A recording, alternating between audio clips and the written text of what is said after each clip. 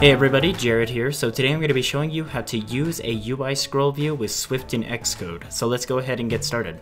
First off, huge shout out to Jacob Stanley who did the intro for this new video. So be sure to check that out, check his channel out. He talks about tech and other things, so be sure to check him out in the link description down below, or he'll be annotated right now. Anyway guys, let's get started. Alrighty guys, so first thing we need to do is create a new Xcode project and we're going to create a new Xcode project and we're going to create a single view application. Now just a reminder, it doesn't need to be a new Xcode project, it can be used with an existing project, but I'd just like to show things how they are done from scratch. So okay, now let's go ahead and do the product name. We're going to call this uh, scrolling and our language will be set to Swift and our devices will be set to iPhone. Click Next and Create. And I'm just clicking Replace. And now let's make this a bit bigger. And we're going to go over to our main.storyboard to start out with.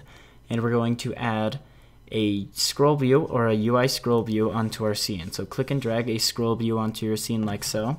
And we're going to open up our assistant editor. And uh, actually, I didn't want to do that exactly yet. So close our assistant editor and first thing we want to do is add a button onto our scene. And one thing you'll notice is, well, when I drag this in, it worked this time. But as you can see, it's inside of our scroll view. Now, I've done this before where it accidentally puts it uh, just be uh, just in front of the UI scroll view, so it actually it, it's not inside of the UI scroll view. So in order to fix this, just go over to your hierarchy right here and make sure that it's inside of your scroll view, and it will show you that by one, it's going to be indented a bit more in, and it has a drop-down arrow, which is hidden inside of our scroll view now. All right, now first thing we want to do is uh, we're going to center this UI scroll view onto our scene, because if we were to build this right now, uh, one thing you'll notice is one, the scrolling will not work properly, and two, everything's built in a square aspect. So you need to fi fix this real quick. So right, so we're just gonna right click or control click and drag from our button over to our UI scroll view and we're going to make this has center horizontally in container and we're also going to center it vertically inside of the container. Alright, and now let's go back to our scroll view and you can right click or control click and drag either from the hierarchy to the view or you can just go right here over to the hierarchy or to the view and we're going to make it have equal widths, equal heights, we're going to center it horizontally in container, and we're going to center vertically in container. All right, now as we build and run this now, as you can see, everything's going to be centered properly. So as you can see, nothing's scrolling right now, so we all we need to add a certain amount of scrolling height that this thing is going to go through. So let's go ahead and go into our viewcontroller.swift. Actually, first thing we need to do is go back into our main.storyboard and open up our assistant editor, which is the two linked bubbles up uh, here at the top right corner. And we want to right click or control click and drag from our scroll view over to our viewcontroller.swift file. And we're going to make this an outlet connection, and I'm just going to call mine scroll view. So I'm actually just naming the scroll view right now that's on our UI uh, on our UI view controller right now. And now we want to edit this when the view loads. So uh, first thing I'm going to do is make this text a bit bigger. So I'm going to go to preferences and I'm going to fonts and colors and just changing the text so it's a bit bigger for you guys. All right, now you guys can probably see that a bit better. All right, now we have the scroll view and it's hooked up via an, I, via an, an IB outlet. And let's go over to our viewDidLoad and now we're going to change the size or the content size of this scroll view. So just say scroll view uh, view dot content size dot height equals 1000. Now this is just a really a random number, uh, but it also proves a purpose. So if I were to build and run this right now, you can see that everything scrolls properly. And now just the way that you can get numbers is first you can go over to your uh, view controller right here and you can go to or your attributes inspector. So I'm going to close the assistant editor real quick. So select our view controller just by clicking this top white bar right up here. And we're going to change this, uh, the size of this view controller to just be an iPhone 4 inch. So now as you can see, if we were to go check out the size inspector right over here, so go to your size inspector, and you will see uh, that it, is a 320 by 568 uh, screen size. So this is 568 right here. So if I were to go 1000 past that, just it's really all imagining. So you can also just type that in right over here and you can say a thousand.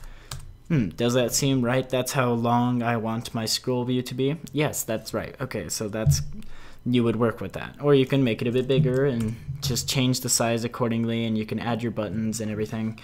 Uh, so this it works uh, perfectly just to be sure that you know that you are creating the right thing uh, for your app. So now I put this back to the original. Actually, I don't even think that's the original. So go back to your assistant editor and I'm going to make it iPhone 4H again. And I'm going to build and run and as you can see it's now going to, it still has that scrolling of 1000 no matter what I'm using. Right now I'm, I'm simulating via an iPhone 6. And if I were to change this to be an iPhone 6 Plus, it would be the exact same thing. It would scroll 1000 it would make the height of the content size 1000 i'm to make this a bit smaller. Wow that is all pretty pretty plus. Pretty large. All right. Now as we wait for that to load first uh, let me explain a concept to you guys real quick. So if you guys want uh, to take away those scrolling indicators here i'll show you right now these scrolling indicators right over here as i move along if you want to take those away, what you need to do is go over here into your main.storyboard and click on your scroll view. And over here in your attributes inspector, you will see that there's two check marks that say scrolling indicators. So you you don't want if you don't want those, as like say you were using this on a menu where you don't really want them, then you can just take them away by uh, taking off unchecking these check marks right here. So now let's build and run this again. And as you can see, now there's no more of those gray scrolling indi indicators anymore. And also this is just showing you this is the iPhone 6 Plus screen size, so it works perfectly fine. Everything's centered inside of the scrolling size. And as you can see, it doesn't scroll as far, mainly because of the reason uh, that the iPhone 6 Plus is larger. So this is perfect for any application that you want. It's going to make it a fixed ratio or a fixed size or height of your scroll view depending on which iPhone you're using. So it, this is perfect for what you're wanting to do if you're going to create a menu or even a book or whatever you want to do. So I hope you guys enjoyed this tutorial. This is basically the basics. Uh, also, just one last thing. You can also edit the scroll view width. So you can just easily say scroll view.contentsize.width equals, we'll just say 1000. Uh, if we built and run this now, built and ran this right now, you would see that everything works and you can actually scroll to the side right now. So that's just a neat trick if you were to do a scrolling, I guess a scrolling game uh, where you have several options to choose from. But that is how you scroll uh, via the width and via the height. So thank you guys so much for watching and I will see you in the next one. Anyway guys, thank you guys so much for watching. If you guys enjoyed this tutorial, be sure to hit that like button down below as it does help out the channel a lot. If you guys want to see more tutorials like this from me in the future, be sure to subscribe. If you guys have any recommendations for future tutorials, be sure to leave that down in the comments section down below. And also if you have any questions, be sure to leave that down in the comments section down below as well. Also, you can also hit me up on Twitter, follow me there if you guys want to know future updates on me and also uh, just future updates on tutorials, and you can also hit me up on there if you guys have any questions. Anyway, guys, thank you guys so much for watching, and I will see you in the next one. Bye.